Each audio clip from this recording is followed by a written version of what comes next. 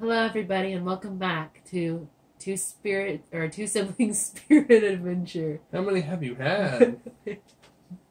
Just brandy. Oh. All right. I'm Brianna. well, I'm Patrick.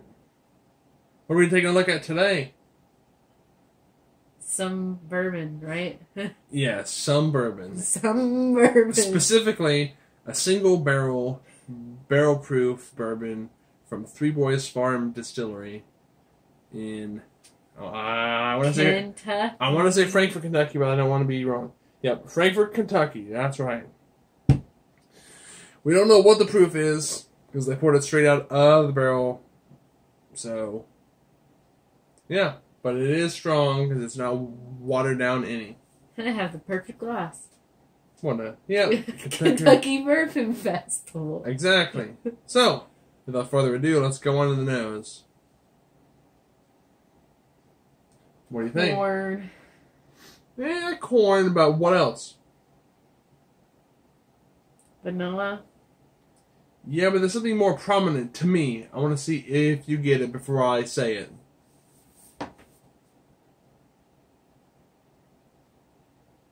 Wheat.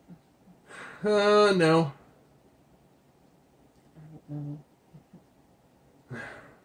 Smell corn. I smell vanilla. Peanut butter. No? No. Peanut butter. Peanut butter jelly tonic. No jelly. Just peanut butter. So, Oh, God. peanut butter, corn sweetness. I smell. Maybe a little bit of brown sugar, cinnamon. Yeah, it's more like. I said vanilla at first, but I think it's more like a maple now. Okay. Like maple syrup. Alright. Interesting. So for you, corn, ma- maple syrup. A spice.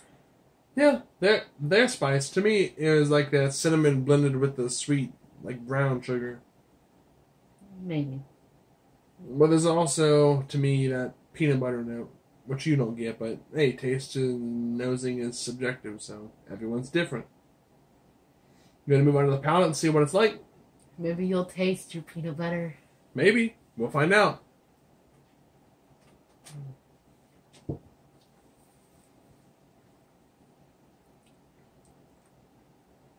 Mapley. Um, so I kind of get maybe where you're coming from with with, with the syrup. Yeah, it's like maple syrup. It's like Mrs. Buttersworth. Hmm. So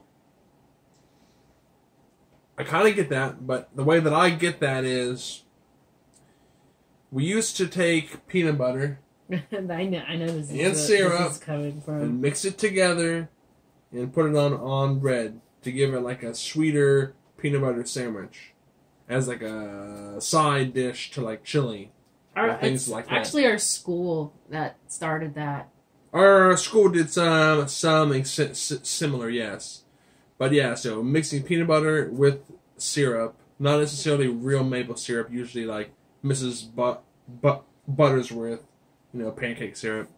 Um, gives you like a sweetness, but also a nuttiness, both together. And that's kind of what I get on the palate in, foremost. I'm gonna take another sip and maybe we can try adding a little bit of water to see what happens. You don't have a spoon. We're gonna drop her. Yeah. So you you get a peanut butter syrup mix, and then you get cinnamon I got the cinnamon. and Cinnamon, maple. cinnamon, the peanut butter, the syrup, and then I still don't get where he gets peanut butter, but okay. Maybe the maple reminds him of the peanut butter. lingering like cinnamon oak spice. Yeah. Hand, hand me the small dropper. Wait a minute. What? This isn't fish tank water, is it? I don't know. What what'd you do with it? Give me the big water. I don't know. Why would you even use that for a fish tank? That's dumb. I have one for my test kit. That's ridiculous. I uh, I know mine ain't for the ta- task kit, so I'm not gonna worry about it there. But you're ridiculous with your fish. Hey.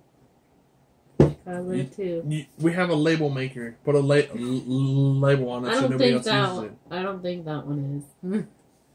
I think mine's in my room. How did it change the nose? More maple.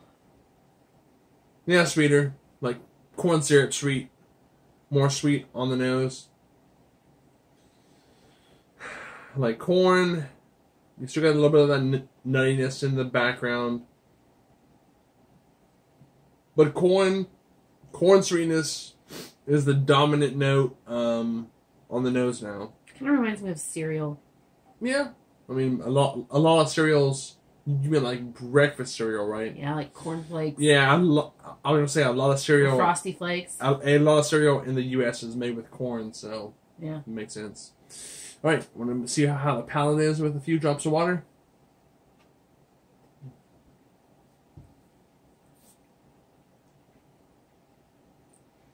Not Huh? much different. Um, For me, at least. uh, I think the spice is more at the forefront to me. That could be the proof, too, though, because we don't know what the. Yeah, but I mean, with the water, it's more spicy than it was without the water. To me, on the front. So, to me, it's with the water. It starts out spicy cinnamon, then the sweetness, like the syrup. Peanut butter is kind of hiding more now, and then the lingering uh, oak oak spice and sweetness. Yep. So, what do you think of this one? It's pretty good. Yeah? Would you want to go visit the distillery next time we're down there? Yeah. Yeah, it's definitely a good place place to stop if you're in in the area. If you're in the Frankfort area, I recommend two different uh, craft distilleries: uh, the the Three Boys Farm and Glenns Creek Distilling, both of which are a great place to stop. Expect to see the Glenns Creek Distilling products on our channel soon. Well, anything else from you? Why is this one half gone? Because Dad likes it, I think. He's been into our whiskey.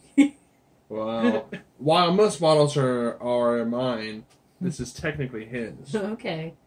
But he doesn't mind I free. think he mixes it with coffee. No, he doesn't. He likes his coffee plain.